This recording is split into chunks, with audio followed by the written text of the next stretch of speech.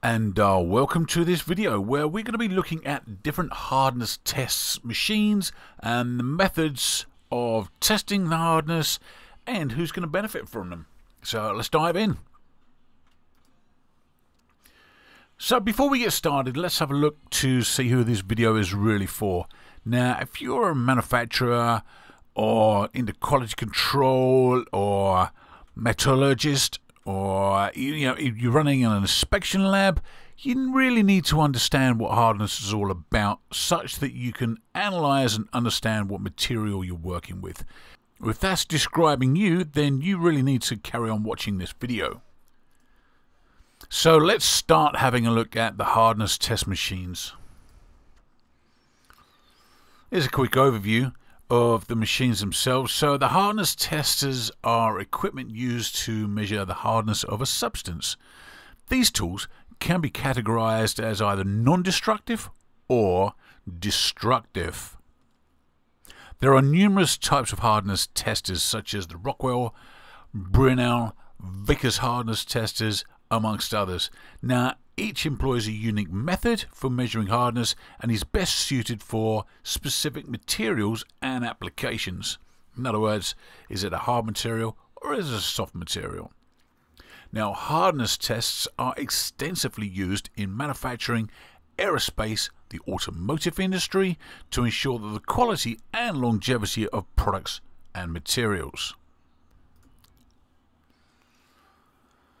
Now, where are hardness testers used?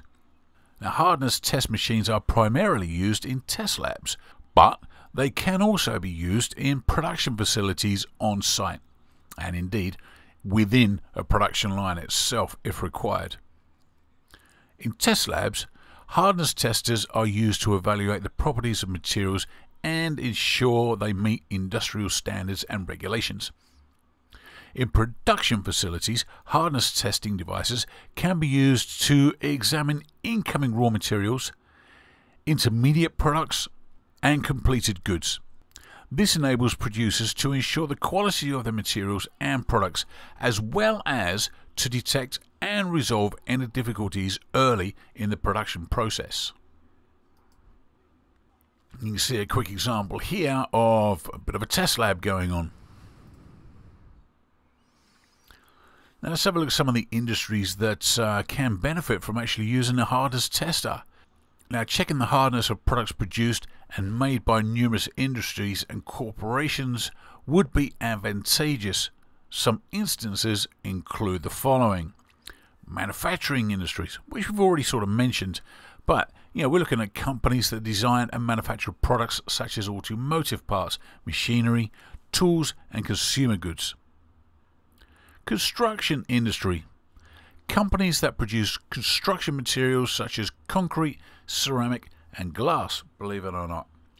In this next slide, you can see a typical reinforced concrete slab. Now, this has to be at the right hardness in order for it to do its job. Medical industry is another one that comes to mind. Now, companies that produce medical devices such as orthopedic implants and surgical instruments.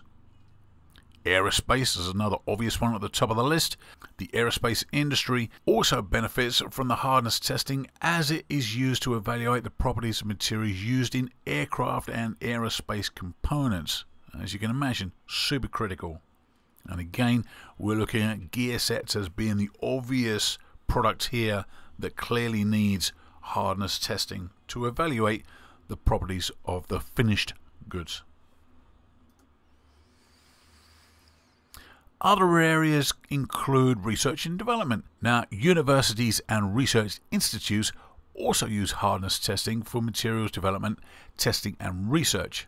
This is where we can benefit from some of their research because they're releasing white papers and us as designers are able to tap into that resource. Now, overall, many industries and companies use hardness testing to ensure that their products meet safety and quality standards and to aid in the design and the development of new products, which I just mentioned. So we've had a look at the various different industries that are going to benefit from using the hardness test. Let's have a look at some of the test types that we are able to tap into. Now there are several different types of hardness tester, each of which uses a specific method to measure hardness. Some of the most commonly used hardness testers include the following Rockwell hardness testers. Now, these use a diamond indenter to make a small indentation in the material and then measures the depth of that indentation. It is used to test materials such as metals, plastics, and ceramics. The next one we're going to look at is the Brinell hardness tester. Now this uses a steel or tungsten carbide ball indenter to make an indentation in a material and it then measures the diameter of the indentation. It is used in materials such as cast iron, steel and aluminum. On the left here we've got uh, an image or a photograph of a Rockwell hardness tester. The Brinell hardness test on the right it, it, looks similar, but uh, like we said, these are definitely different applications and different indentation tips being used. Just for fun, here's the Rockwell hardness and the Brinell hardness from the 1930s. These were photographs actually taken in the Toyota Museum in Japan. Let's carry on looking at the different types of testers.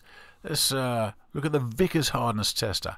Now this again uses a diamond indenter to make a small indentation in the material and then it's measured the diagonal of that indentation. It is used to test materials such as metal, ceramics and polymers.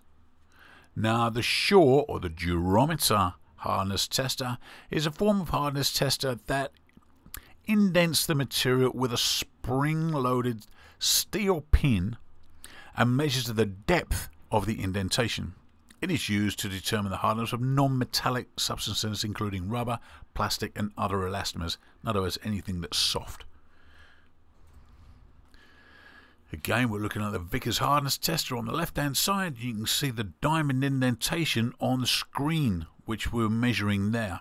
And on the right hand side, we've got the Shore hardness tester. Now, now again, just for reference, these are the Vickers hardness test and the Shore hard testers from the 1930s. Again, these photographs were taken in the Toyota Museum in Japan. See a big difference between the two technologies from the 1930s and today. Look at that, look. Very good. Alright, so who's going to benefit from the harness tests? Let's have a look at manufacturers, engineers, quality control professionals in various different industries, which we've already spoken about, would all benefit from using the hardness testers to verify that the material they have selected is the correct hardness for the application. Now, overall, anyone who is responsible for specifying, selecting, or testing materials for use in production or equipment would benefit from using the hardness tests to ensure that the materials that they use are the correct hardness for the intended application. Now, if you're interested in getting any of your products tested, we have set up a specific test lab under the Sofeast company. If you want to find out more information about this, just contact us and we can help you. Thanks for listening. My name is Paul Adams from Sofeast, and I shall see you in the next video.